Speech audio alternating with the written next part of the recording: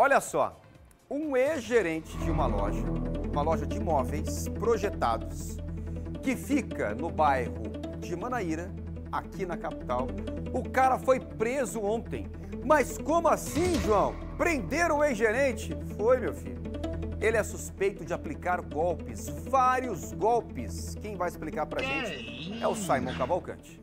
Ele era gerente desse estabelecimento ele fazia as vendas e a gente sabe que geralmente, né, nessas lojas de imóveis projetados, eles trabalham assim, eles cobram um percentual de entrada e aí o cliente ou paga tudo quando a instalação ou em parcelas, enfim, tem aquela venda, tem aquele valor inicial, ele, está, ele estaria se apropriando desses valores, é claro que os proprietários procuraram a polícia terminou fazendo essa investigação e ele foi preso no bairro de Miramar.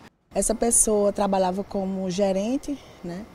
E, e efetuou alguns golpes em relação aos proprietários da loja. Como ele fazia?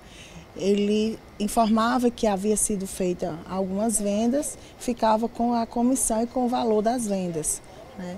Eles, os proprietários só perceberam porque era um mês de baixa. Quando perceberam que o, o não condizia com, com o comportamento é, do comércio, foram averiguar com a contabilidade e perceberam realmente que ele fazia, é, ele utilizava é, de artimanhas para convencê-los a liberar essas, essas vendas.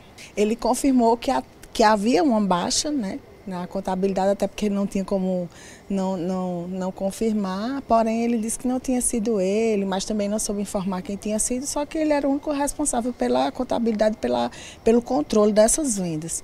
E, assim, durante as investigações foram juntadas imagens de Instagram, de redes sociais, e viu que ele estava com um padrão acima né, é, do que ele tinha, como ele tinha entrado na, na, na loja né, na, na, contratação inicial. Então percebeu-se realmente que havia um descompasso ali entre o que ele recebia como salário e o que ele estava ostentando.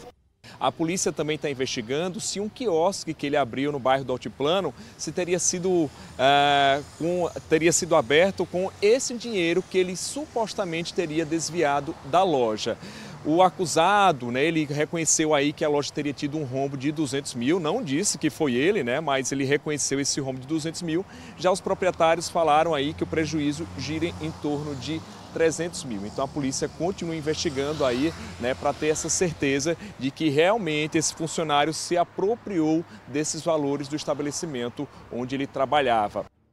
Um prejuízo que pode chegar a 200 mil reais. Pensa aí. Pensa, porque não é barato não. Para fazer esses móveis projetados, planejados, é barato? Coisa nenhuma. Aí você guarda um dinheirinho ou pega dinheiro emprestado para fazer, para deixar sua casa bacana, aí encontra um cabra safado, nojento como esse, que ainda pega o pouquinho que você tinha e você fica sem armário, sem guarda-roupa, eu vou te falar.